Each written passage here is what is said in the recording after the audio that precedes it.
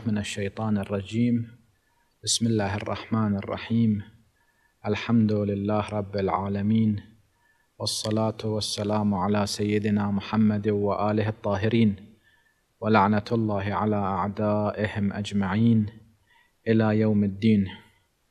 كان كلامنا في حديث الإمام الرضا عليه الصلاة والسلام في الفرق بين أسماء الله وأسماء المخلوقين.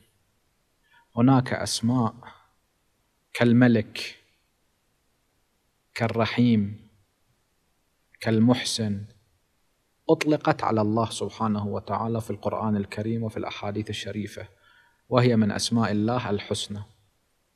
وأيضا في القرآن أو في الأحاديث أطلقت على المخلوقات.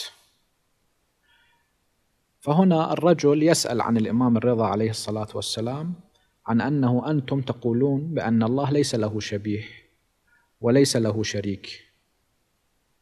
فكيف ليس له شبيه مع أن صفات الله سبحانه وتعالى يعني بعض تلك الصفات أطلقت على المخلوقين يعني أطلقت أسماؤها على المخلوقين؟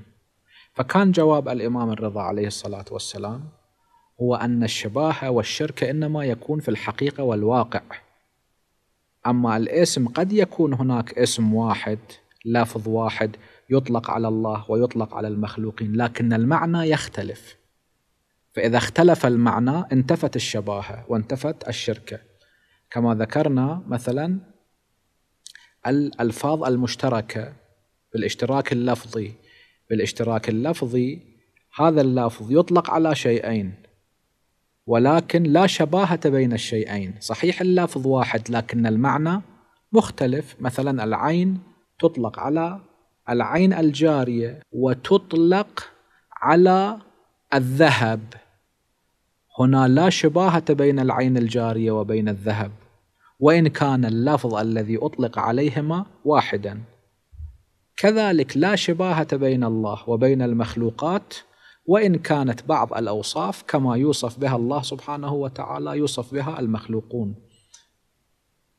ولكن المعنى يختلف وبذلك ترتفع الشباهة والإمام عليه الصلاة والسلام في هذا الحديث يأتي ويبين الفرق بين بعض الأسماء التي تطلق على الله سبحانه وتعالى وتطلق على المخلوقات. يبين الفرق في المعنى. في بحث هذا اليوم نذكر بعض الصفات التي ذكرها الإمام الرضا عليه الصلاة والسلام وبين الاختلاف في المعنى في المخلوق عن المعنى في الخالق. من جملتها كلمة القائم. كلمة القائم أطلقت على الله سبحانه وتعالى في قوله سبحانه وتعالى أفمن هو قائم على كل نفس بما كسبت؟ الله سبحانه وتعالى له القيمومة على كل شيء بالعلم والتدبير على الناس وعلى غير الناس فاللفظ القائم أطلق على الله سبحانه وتعالى. هذا اللفظ أيضا يطلق على الإنسان. نقول زيد قائم. والمعاني في قائم مختلفة. المعنى الذي يراد في الله سبحانه وتعالى يختلف عن المعنى الذي يراد في المخلوقين. وهنا الإمام الرضا عليه الصلاة والسلام يشير إلى جانب من ذلك. عندما نقول الله سبحانه وتعالى قائم على كل نفس بما كسبت نريد من ذلك أنه حافظ تلك النفوس. أنه الكافي أنه الباقي. لكن حينما نطلق هذه اللفظة على الإنسان يعني الانتصاب يعني قائم على ساق يعني وقف على ساقه وهذا الإنسان صار قائما. وكذلك قد نقول بأنه هذا الشخص قائم على الأمور قائم على الأمور لكن قيامه على الأمور تختلف عن قيمومة الله سبحانه وتعالى على كل نفس بما كسبت. قيمومة الله سبحانه وتعالى على كل نفس هو بمعنى علمه بتفاصيل الأمور وبمعنى مجازاته لهذا الشخص وبمعنى تدبيره لأمور الخلق كل يوم هو في شأن. أما هذا قائم بأمور الناس يعني يتولى تلك الأمور.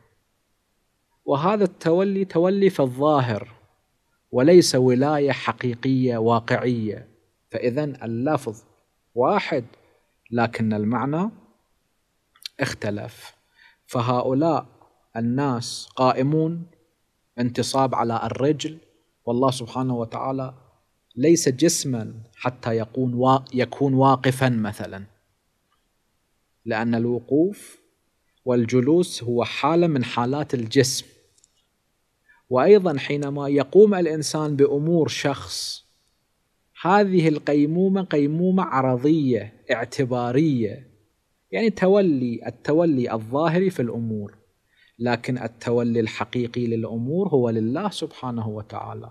بإفاضة الوجود باستمرار لأن الله سبحانه وتعالى إذا لحظة واحدة قطع لطفه عن الأشياء تنعدم كل الأشياء لأن الله سبحانه وتعالى كما هو خالق كذلك استمرار الوجود يتوقف على إفاضة الله سبحانه وتعالى الوجود في كل لحظة.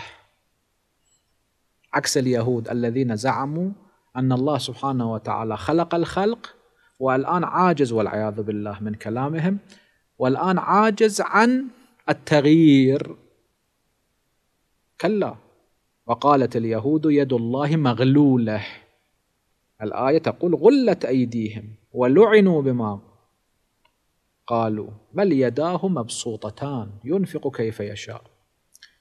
فاذا الإمام يقول وهو قائم يعني الله سبحانه وتعالى ليس على معنى انتصاب وقيام على ساق في كبد. لقد خلقنا الإنسان في كبد. القيام على ساق يعني الإنسان يقف على رجله وبمشقة أن الإنسان عندما يبدأ بالحركة في بداية حياته لا يتمكن من القيام وبمشقة يتعلم القيام. والسبب في ذلك كما يقولون كما يقولون في الطب أن الإنسان حينما يولد لتسهيل عملية الولادة بعض عظامه متقطع إلى أجزاء مختلفة.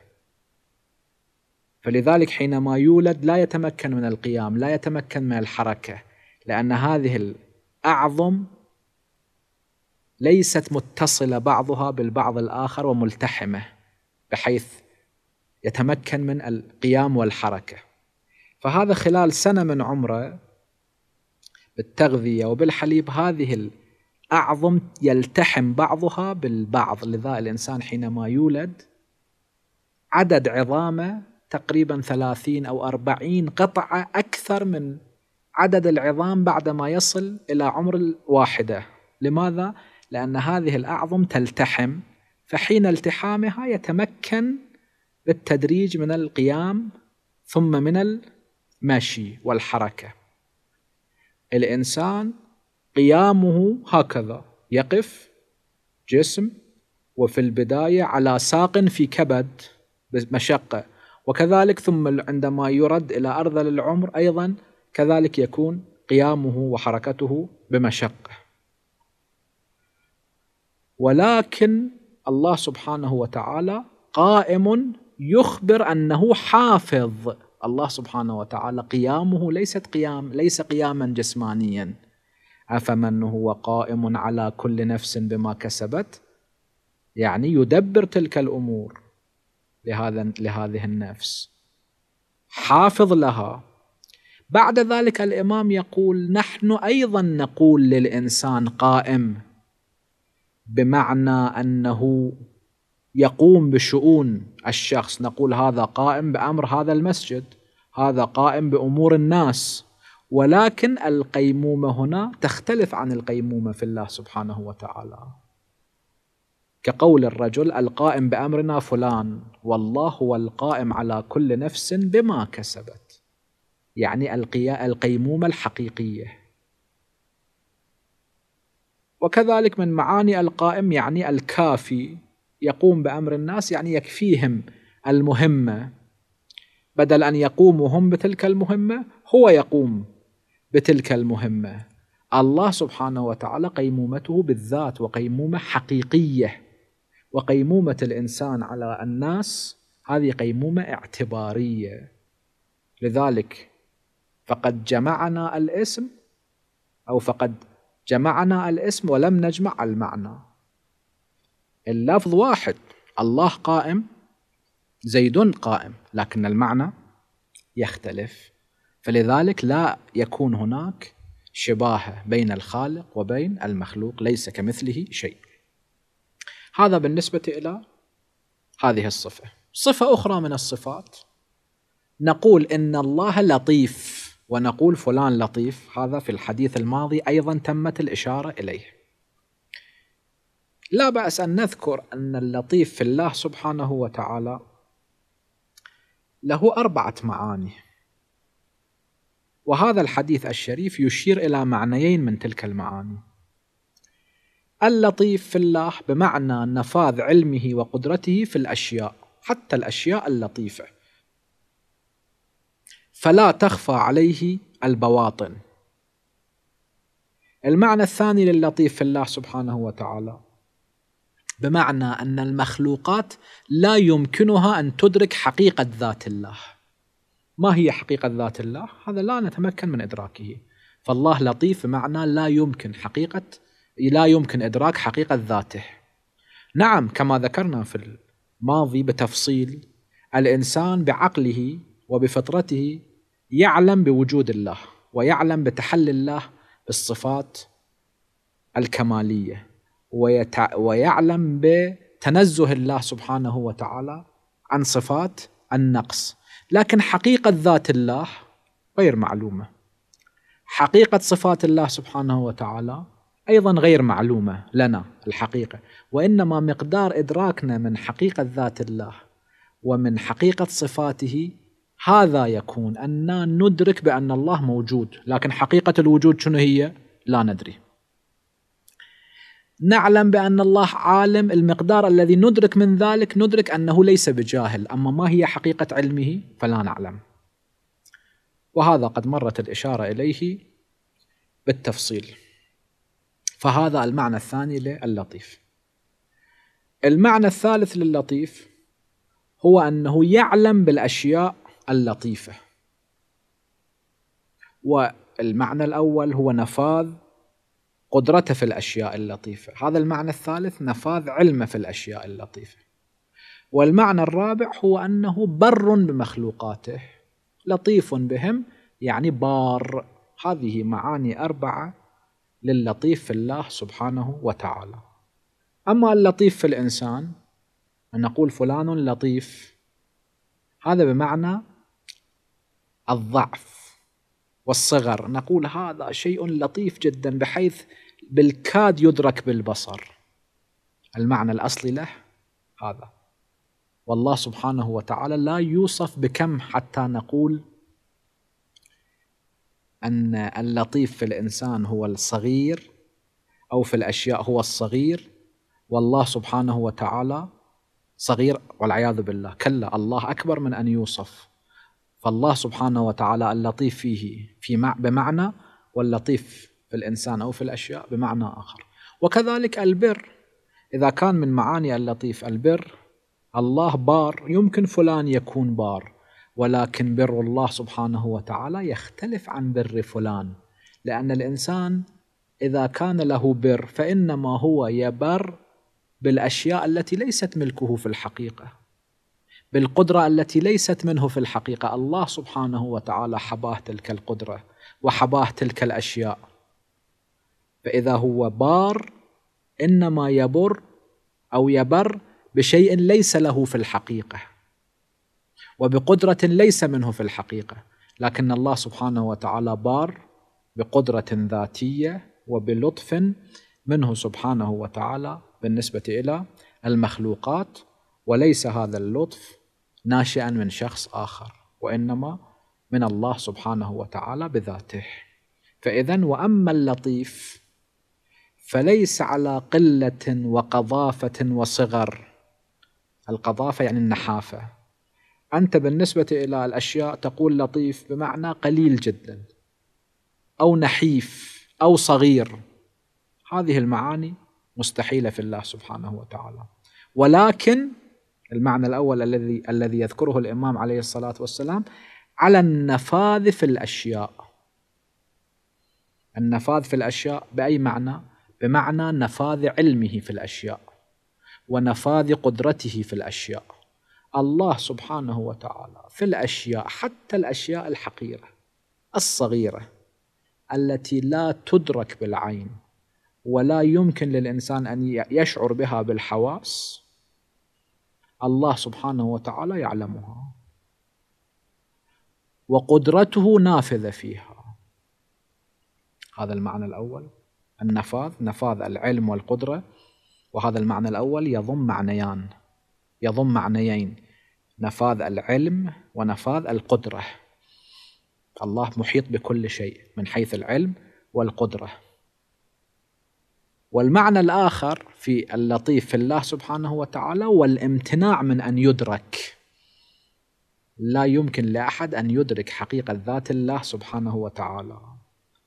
يمكن أنت تستعمل هذا المعنى في الإنسان أو في الموجودات الأخرى. ولكن أيضا يختلف عن المعنى في الله سبحانه وتعالى. تقول الشيء الفلاني لطف عني.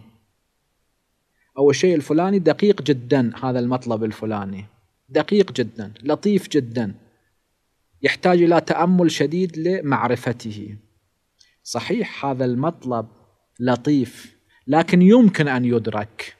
لذا العلماء المدققون المحققون بالتأمل والتفكر يصلون إلى حقيقة الأشياء الدقيقة.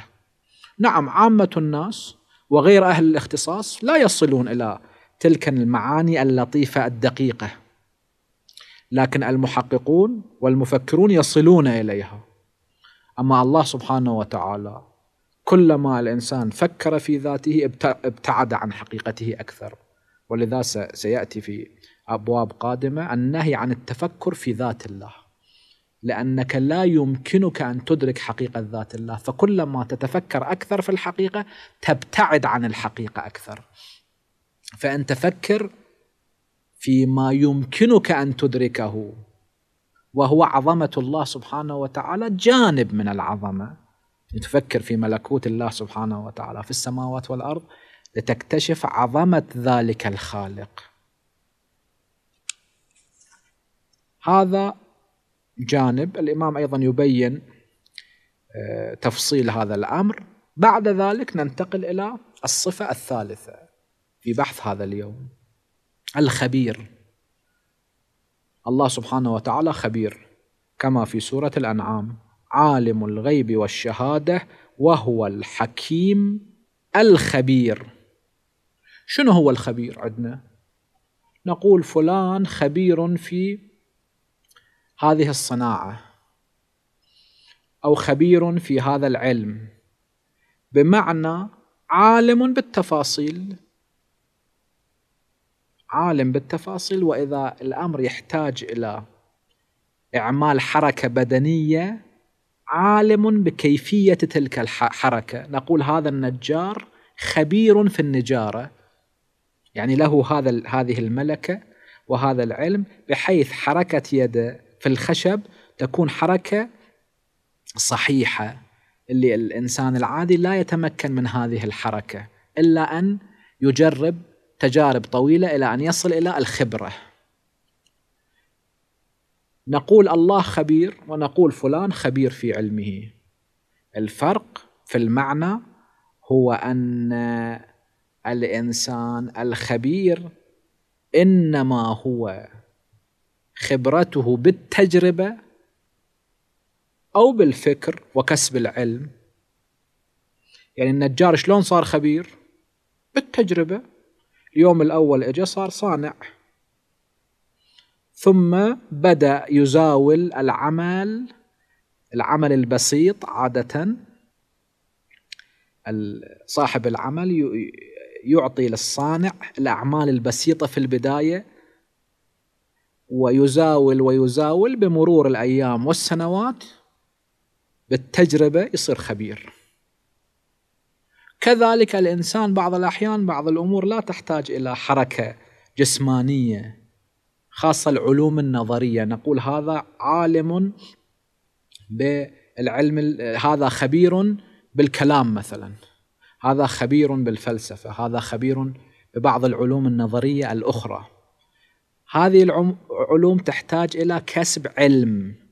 يعني هذا الشخص يدرس يفكر يرتب النتائج على الأفعال وعلى الأمور إلى أن يصبح خبرة في مجال من المجالات من العلوم النظرية. لأن العلوم إما هي علوم عملية يعبر عنها بالصناعات وإما علوم نظرية.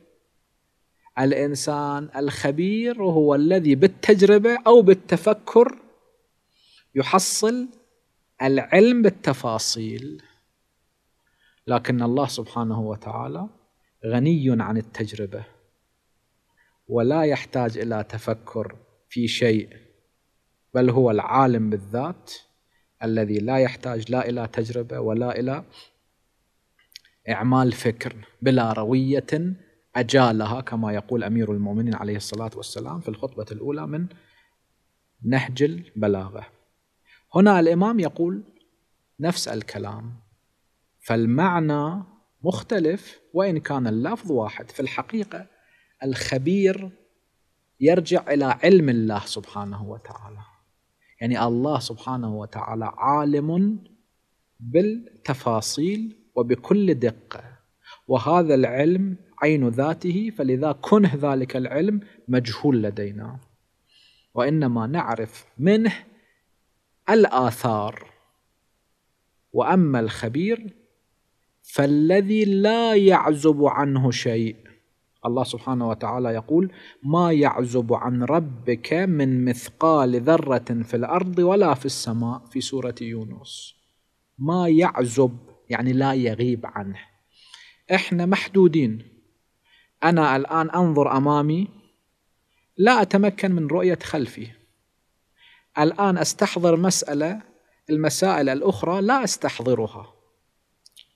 الإنسان علومه محدودة. لذلك يغيب عنه كثير من الأمور بل أكثر الأمور غائبة عنه. أما الله سبحانه وتعالى وما يعزب عن ربك من مثقال ذرة في الأرض ولا في السماء. لا يغيب عنه. وما من غائبة في السماوات ولا في الأرض إلا في كتاب من قبل أن نبرأها. يعني قبل أن يخلق الأشياء الله عالم بها. ليس علمه بعد خلقها. قبل أن يخلقها كان عالما بها. وبعد أن خلقها علمه لم يتغير. وبعد أن يفنيها كل شيء هالك إلا وجهه. أيضا لا يتغير علمه سبحانه وتعالى بالأشياء. فالخبير في الله سبحانه وتعالى الذي لا يعزب عنه شيء ولا يفوته يعني لا يخفى عنه ولا ينساه. الإنسان الخبير عندنا إذا فترة ترك قد ينسى بعض الأمور. لكن الله سبحانه وتعالى لا يفوته شيء. ليس للتجربة ولا للاعتبار يعني خبرة الله ليست ناشئة عن التجربة. التجربة هو أن الإنسان يعمل عملا هذه بالممارسة العملية فيكتشف معلومات. أنت مثلا لا تدري الطريق الموصل إلى بيتك يا طريق ثلاث طرق أمامك موجودة. تجرب الطريق الأول تشوف ما وصلك إلى بيتك. تجرب الطريق الثاني تشوف ما وصلك. تجرب الطريق الثالث تشوف وصلك. أنت اكتسبت علم هذا مثال جدا بسيط للتجربة. بسبب المزاولة العملية اكتشفت أن الطريق الأول والطريق الثاني لا يوصل الطريق الثالث هو الذي يوصل. هذا علم بسيط عن طريق تجربة بسيطة. وكذلك كثير من العلوم. هذه العلوم العملية. الخبرة في العلوم في العلوم العملية. ليس للتجربة ولا للاعتبار. الاعتبار يعني النظر في الشيء والتفكر في الشيء حتى حصول العلم. يعني العلوم النظرية مثل افرض العلوم الرياضية مثلا. العلوم الرياضية هذه بسبب الفكر البشر وصل إليها علماء الرياضيات بالفكر. ليس هناك تجربة عملية. هذه العلوم وكذلك كثير من العلوم الإنسانية كعلم الاجتماع مثلا هذه كثير منه من التأمل في الأشياء. يعني تنظر الاجتماع تكتشف قواعد علم الاجتماع مثلا. هذه الخبرة في الخبراء في الإنسان. لكن الله سبحانه وتعالى ليس للتجربة ولا للاعتبار بالأشياء بحيث أن الإنسان عند التجربة والاعتبار علمان علم عن طريق التجربة علم عن طريق الاعتبار. ولولاهما ما علم هذه المعلومة أنت ما كنت تقدر تعلمها تعلمها لولا التجربة ولولا التفكر. لأنه من كان كذلك كان جاهلا الإنسان الذي عن طريق التجربة وعن طريق الاعتبار. يصل إلى المعلومات. هذا معناه أنه جاهل وأزال جهله عن طريق التجربة والاعتبار. لكن الله سبحانه وتعالى والله لم يزل خبيرا بما يخلق. يعني قبل أن يخلق الخلق الله خبير لأن الخبره من صفات الذات لأنها ترجع إلى العلم. ولذلك يقول لم يزل خبيرا بما يخلق. يعني الله سبحانه وتعالى من الأزل عالم بكل التفاصيل في المخلوقات التي خلقها بل حتى الأشياء التي لم يخلقها لأن الله سبحانه وتعالى أيضا عالم بما لم يكن. فالله سبحانه وتعالى قبل أن يخلق الأشياء كان يعلم بها فهو خبير بها. لأن الخبرة كما ذكرنا ترجع إلى العلم والعلم من صفات الذات فلذا هي أزلية لأنها هي ذات الله سبحانه وتعالى. والخبير من الناس المستخبر عن جهل. يعني كان جاهلا وبعد الجاهل يريد يحول هذا الجهل إلى علم يستخبر يعني يحصل الخبر. كيف يحصل الخبر؟ عن طريق التجربة عن طريق الاعتبار المتعلم. يعني كان جاهلا ويتعلم. فقد جمعنا الاسم واختلف المعنى. اذا الخبير في الله سبحانه وتعالى بمعنى والخبير في المخلوقات بمعنى آخر. طبعا في البحث الماضي أشرنا إلى أنه الإرادة الجدية تختلف والا الإرادة الاستعمالية في معنى هذه الألفاظ واحد لكن الإرادة الجدية بالبيان الذي بينه الرسول صلى الله عليه وآله. والأئمة عليهم الصلاة والسلام عرفنا المقصود من هذه الكلمات لأنها غالبا هي من متشابهات القرآن والمتشابهات مرجعها إلى المحكمات ليس كمثله شيء. والرسول والأئمة عليهم الصلاة والسلام بينوا لنا المحكم عن المتشابه. اذا في هذا الكلام الإمام الرضا عليه الصلاة والسلام بين في المقدار الذي بيناه في هذه الحلقة معنى الخبير ومعنى اللطيف ومعنى القائم. طبعا للحديث صلة الإمام عليه الصلاة والسلام يبين معنى الظاهر يبين معنى الباطن يبين معنى القاهر.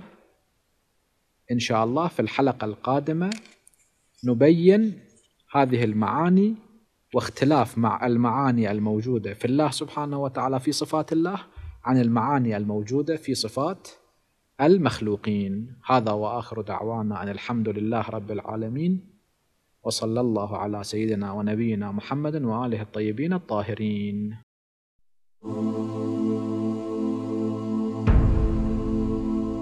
Oh